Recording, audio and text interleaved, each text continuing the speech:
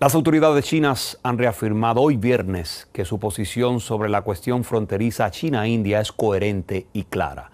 El portavoz del Ministerio de Relaciones Exteriores de China, Wang Wenping, señaló en una conferencia de prensa que el tema fronterizo es un problema histórico aún pendiente de resolución. El vocero de la Cancillería señaló que ambos países deben encontrar una solución justa, razonable y mutuamente aceptable a través de consultas pacíficas y amistosas. Wang también expresó su esperanza en trabajar con la parte india para promulgar los importantes consensos alcanzados por los líderes de ambas naciones a fin de promover el desarrollo de unas relaciones bilaterales sanas y estables.